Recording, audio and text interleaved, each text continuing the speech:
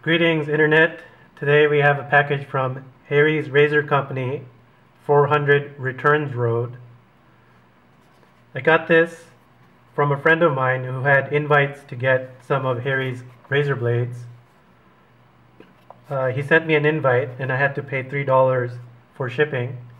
I think the $3 was worth it because they shipped it to me using uh, DHL USPS and I had it in three days.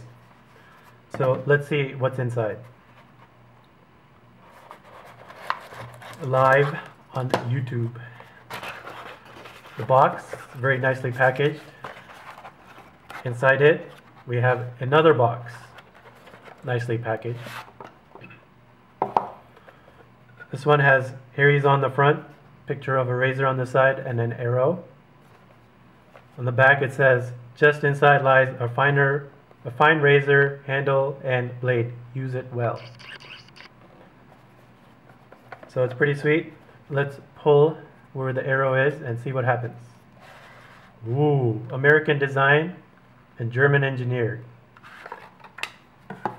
Ooh, there's a package, there's a label. Grip the pusher at its base with your thumb and forefinger. Slide pusher away from handle. It should pop off with ease. Okay, let's see what we have in here. There's an orange razor blade, very nicely textured. Harry's logo, texture on the side here. It's got a nice uh, rubbery grip. I'm definitely not going to drop this and chop my nipples off, that's for sure. So let's test removing the, the blade. It says push it, pull it. Oh, there you go. It's pretty nice. Try it one more time. Push.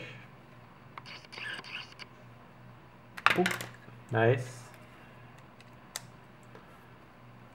Let's see what else is in the box. It's a very nice box. It's got a little cup thing here, so let's see what's behind it. So that's it. Here's the box. Get the razor with one blade. I was hoping for, say, a second sample blade, but this is what they gave me. so let's try it out. I have a hairy arm. So let's see if it works.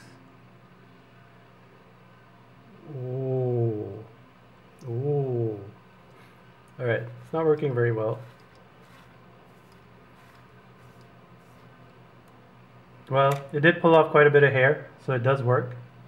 I guess uh, shaving cream and preparing your face would be a little more useful. A bunch of hair here on the table too. I don't know if you can see that. So there you go guys. The Harry's uh, razor. No name, but I think this is their uh, El Cheapo basic model. I'll have it in the comments. Thanks for watching.